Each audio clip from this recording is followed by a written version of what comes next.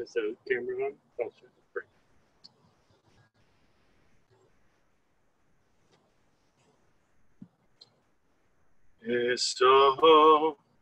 Enai El Enai El Harim Me'ayin Yavo Yavo Esri Me'ayin Yavo Yavo Esri Me'ayin Yavo Yavo Esri Me'ayin Yavo Yavo Esri Birth is a beginning and death a destination. But life, life is a journey, a going and growing from stage to stage, from childhood to maturity and youth to age, from innocence to awareness and ignorance to knowledge, from foolishness to discretion, and then perhaps to wisdom. From weakness to strength, strength to weakness, often back again. From health to sickness, from loneliness to love, from offense to forgiveness, from joy to gratitude, from pain to compassion. And we pray from grief to understanding, from fear to faith, from defeat to defeat to defeat. Until looking backward or ahead, we see that victory lies not at some high place along the way, but in having made a journey. Birth is a beginning, and death a destination life, Edna's life, was a sacred pilgrimage. El Harachaman, sweet God, you've taken our beloved Edna from us. We grieve now in a darkened world. In her family, silence is lamentation. In their tears, there is sorrow. Be with them, God, hear them. And let us today draw meaning from communities of shared purpose and meaning. In this time of grief, let us listen for the ever relevant message of your nearness, O God. We invite you, if you wish, to join with me in the recitation of the 23rd Psalm. The Lord is my shepherd, I shall not want. He maketh me to lie down in green pastures. He leadeth me beside the still waters. He restoreth my soul. He guideth me in straight paths for his name's sake. Yea, though I walk through the valley of the shadow of death, I shall fear no evil, for thou art with me. Thy rod and thy staff, they comfort me. Thou preparest a table before me in the presence of mine enemies. Thou hast anointed my head with oil. My cup runneth over. Surely goodness and mercy shall follow me all the days of my life, and I shall dwell in the house of the Lord forever. Amen. Ata imadi, thou art with me. That faith in the psalmist expressed is echoed today. I know in the feelings of Edna's dear family members.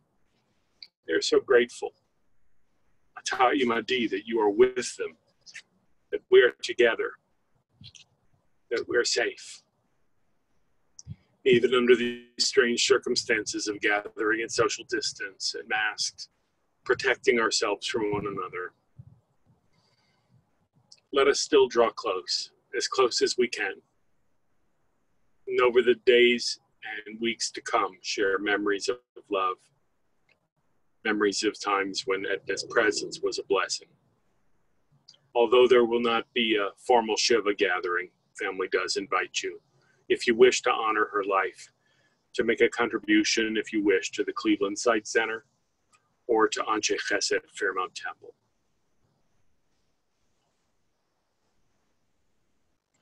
Dear friends, in our culture, there is the idea that inside of every person is a private shrine of memory and love, and that it's in that sanctuary that the loved ones who died before us now abide. We sense their presence, caress, they caress our spirits and are enfolded in our hearts. They talk to us, they tell us tales, they play games with us. And thus the pain of separation is soothed by memory. the hurt sustained, healed by love, and we ourselves become purified through our sorrow. I share these words as a reminder of our purpose here today. We gather at Edna Stein's graveside, and our tradition bids us to look inside of ourselves. For there she is, standing tall as Edna could, for the values that she cared about most for integrity, for decency, for her strong beliefs about what life was for, and her determination to quench her own thirst for as full of a life as her body and spirit would allow. Today, when we remember her, we're remembering a precious, humane being, someone who set an example, especially over the recent years, of what it means to truly mourn a loved one, but continue to live with zest and joy. Today we remember Edna Stein, and if we so, if we make it so, she can be present to us and alive through us. Edna was born in mid December of 1923. To give you a sense of perspective on how long ago that was, the president's name was Calvin Coolidge, and the cost of gas was 22 cents a gallon. So it's been a while. Edna is the oldest of two daughters, her and Judy, children of Daniel and Ida Vision, born and raised here in Cleveland.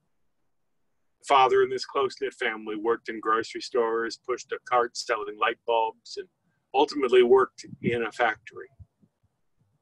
Edna and Judy got used to the challenges their family faced as they made several moves during a time of extraordinary economic hardship. Edna would fulfill her studies and make many friends at Glenville High School, almost all of whom she maintained throughout her life, surviving all of them. Judy shared with me yesterday powerful memories of having a sister that connected with her and protected her during their young life.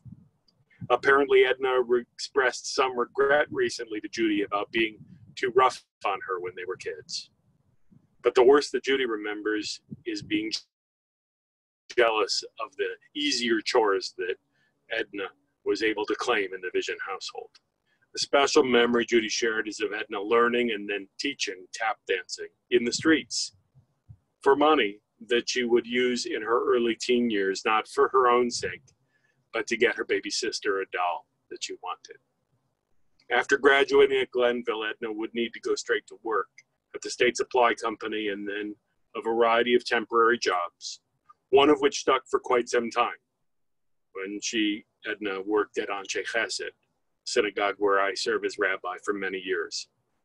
Though our work tenure never overlapped, I know she had a strong work ethic, an eye for detail, administration, bookkeeping, record keeping talents honed over many years in many different workplaces.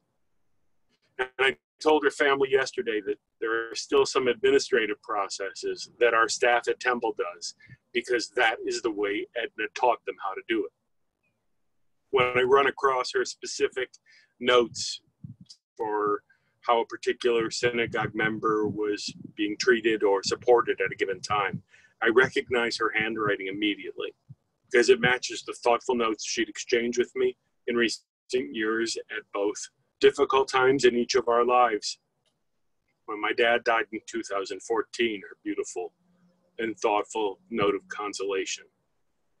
Or when her dear husband Paul died in 2015. Or when happiness is, of course. Happiness is a rose in families such as hers. You should only know how deeply Edna would rejoice in being able to stay actively connected to those happinesses, especially when connected to the lives of her grandchildren. Jenny and her Josh, Amy and her Jonathan, Jeremy, his Kristen, Seth, Adam, Dina, or is it Deanna? Dina. And great grandchildren, Nora, Avi, Tessa, Emily, Benjamin, Nicholas, and Alexa. Although surviving so many losses among family and friends were difficult on her, what buoyed Edna's spirits was the opportunity to connect with that bountiful harvest of nachas that life had granted her. So many loving young people still tenderly involved in her day to day life. But she loved seeing what your lives developed into over these recent years. When Edna looked back, though, on the early part of her life, she was glad to have gone to the wedding of a friend that Paul accidentally crashed. For so at that wedding began a momentous relationship that lasted nearly seven decades. Paul took a real shine to Edna at that wedding and set about going to make her his girlfriend, no matter how much chutzpah it took. Paul would come to Edna's home in advance of dates she had planned with other guys, just to let her know that none of them could bid higher than her, higher than him as a suitor for her affection. After Paul died, Edna told me that their marriage, beginning in the presence of Rabbi Rosenthal, walking along the long aisle at Old Heights Temple, she was so delighted by the life they built of mutual encouragement and love. She was taken by his youth, his love of giving to others. She loved his humor most of the time, and his entrepreneurial plans as an optician. When they were first married, they looked at the world through the third floor window of Edna's parents' home. And then they moved to South Euclid and made space for her mother, Ida, to come live with them, where they became parents for the first time to Jeffrey and then Keith. May he rest in peace. And then Susan. And finally, they spent many years in their Beechwood home, the site of a great deal of spoiling of grandchildren. They set an example in that home to everyone of what mutual encouragement and laughter looks like when it ripens with age. We grieve here today with Susan and her Fred, with Jeff and Bonnie, as a new status is cast upon them, now with neither of their parents left alive to gather insight, direction, and loving care. But they are so appreciative of the way Edna turned her devoted attention to them and to Keith when they were growing up and maintained affectionate and loving ties with them as they matured and made families of their own. Jeff told me that throughout his life, going back even to grade school, his mom would dote on his activities, attending every Little League game, basketball game at Beechwood High School. He remembers how one summer she and Paul welcomed him as a kind of summer intern at Cedar Taylor Optical, where Edna taught Jeff carefully how to manage the books, still a skill that he employs. He's thinking now of the mutual and inspired energy for making friends that both Paul and Edna had, including the week each summer Susan told me about at the Nevele Hotel, or how on a trip to Hawaii with several other families in his teenage years, Jeff remembers how the family connected and made friends with local broadcaster Virgil Dominic and sustained that friendship through many celebrations. Their home was a center for celebrations and gatherings. Edna was cooking wonderful foods, biscuits, casseroles. Excuse me, I meant to say briskets and casseroles. There's some things that spell check just doesn't catch. Susan said that even during the lockdown at Wiggins Place in recent months, sheltering from the virus, she would bake in solidarity with and in honor of her mom and deliver the results to Edna whenever they would allow her to bring over some of that family sweetness. I also loved hearing from Susan about the Friday afternoon bowling matches that she remembers. When Edna would go bowling with friends and would stake a claim that it was the payday candy bar that she'd indulge with on those days that was her best good luck charm. Seems to me in talking with Susan that the two of them had a special kinship, being the only two women in a house full of testosterone. And this led to shared joy they took in their own activities, shopping together, traveling abroad to Italy, to Switzerland, and elsewhere. Adam and Seth have shared with me that from as early as they can remember, they've had wonderful memories with their grandma to hold on to.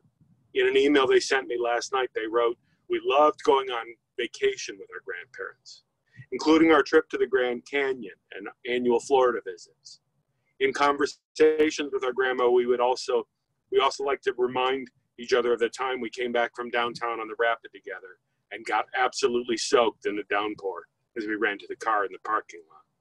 They added their grandma also had a true talent for cooking and baking.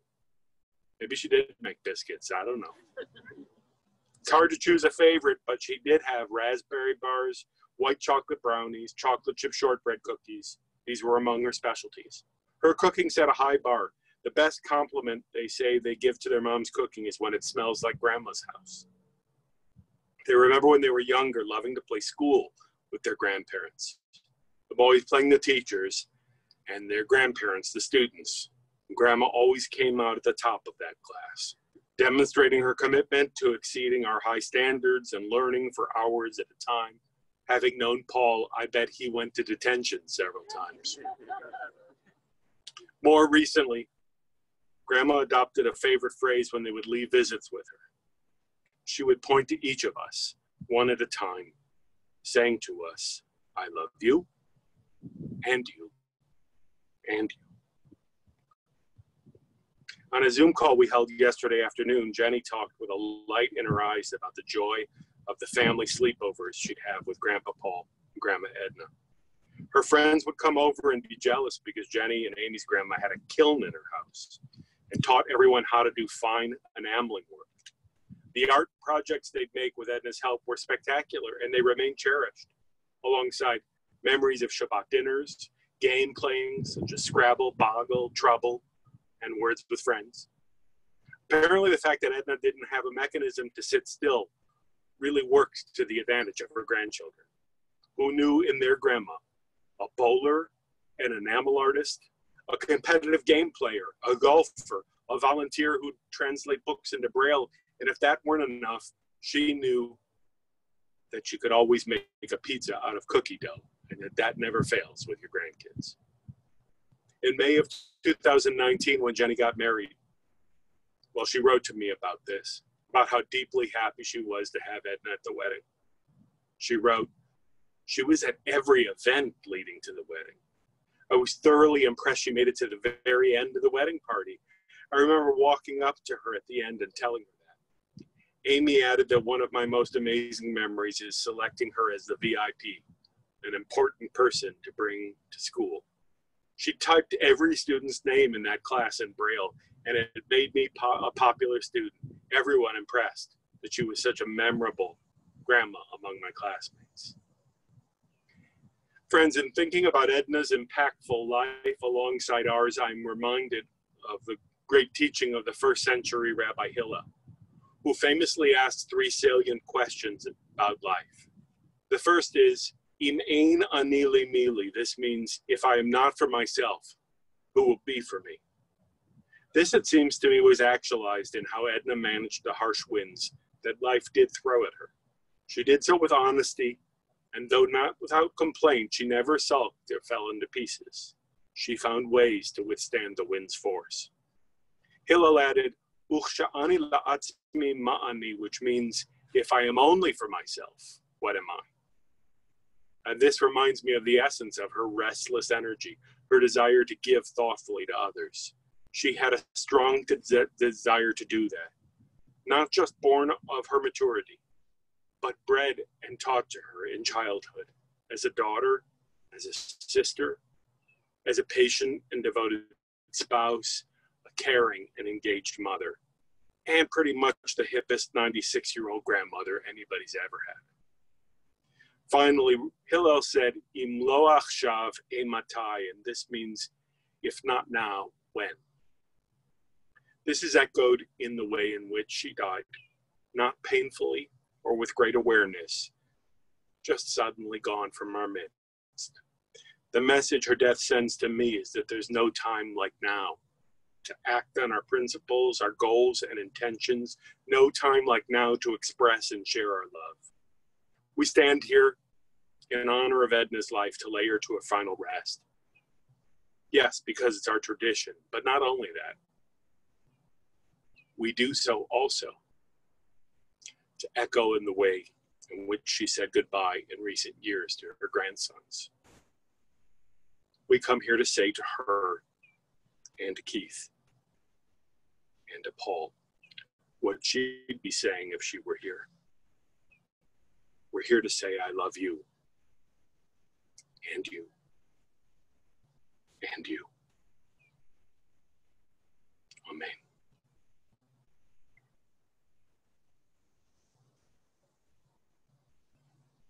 אל מלא רחמים, שוכן במרומים. אמצי מנוחה נכונה, תחת כנפי השכינה. עם קדושים וטהורים כזוהר הרקיע מזכירים, את נשמת תתבן דניאל שלחה לעולמה. בעל הרחמים יסתירהו בסתר כנפיו לעולמים. Yitira b'tzara chayim et neshmata. Adonai hu nachlata, v'tanuach b'shalom al mishkava, v'nomar Amen. God, full of compassion, eternal spirit of the universe, grant perfect rest in your presence to Edna Stein. She has entered eternity. God of mercy, let her find refuge in the shadow of your wings let her soul be bound up in the bond of everlasting life. God, you are her inheritance, and she is yours. She is a good inheritance. May she rest in peace.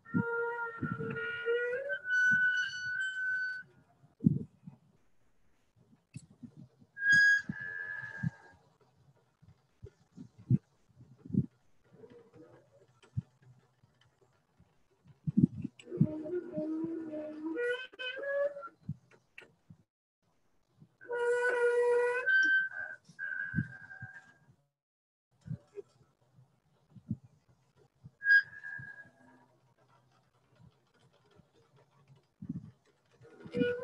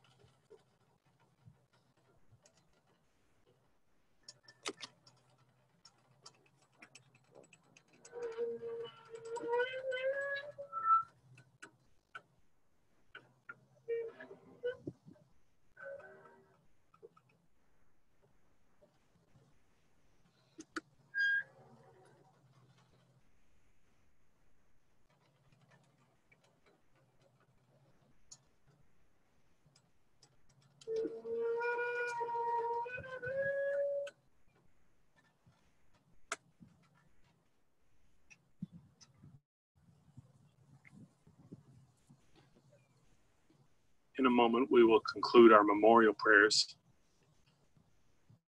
After which, we invite you, if you wish, only if you wish, to succeed the family as they may wish in spreading a small amount of earth back in Edna's grave, assisting her with what the rabbis call the chesed shel emet, the final kindness we can give to someone on earth.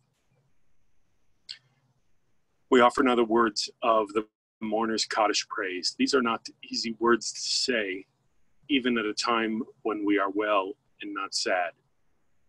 Ancient Aramaic words, words of mystery, they actually never mention death, but they have come to acknowledge our faith in life, even at moments as difficult as this.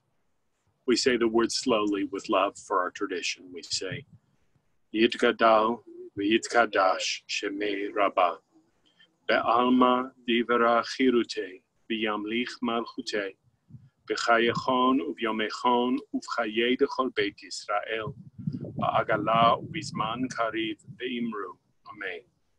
יהא שמי רבה מבורך לעולם ולעלמי עלמיה, יתברך וישתבח, ויתפאר ויתרומם ויתנשא, ויתהדר ויתעלה ויתהלל שמי דקודשה בריחו.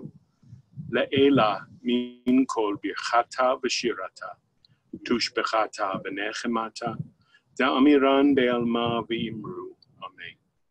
יהא שלמה רבה מן שמיא, וחיים עלינו ועל כל ישראל ואמרו, אמן.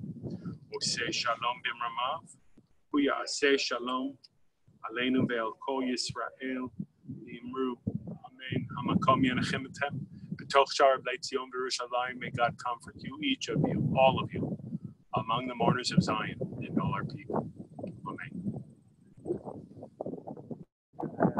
Who family first participate in the midst of placing earth upon the grave, you may do so. Take a handful. And then, if you wish to leave your glove by this chair, we'll take care of it.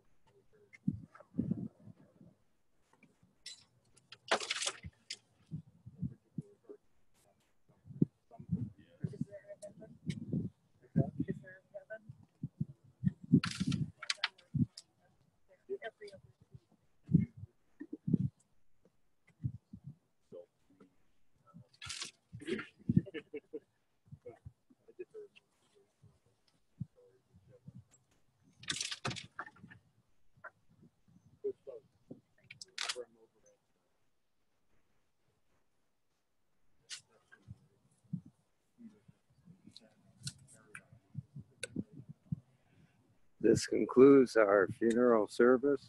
Thank you for being part of it.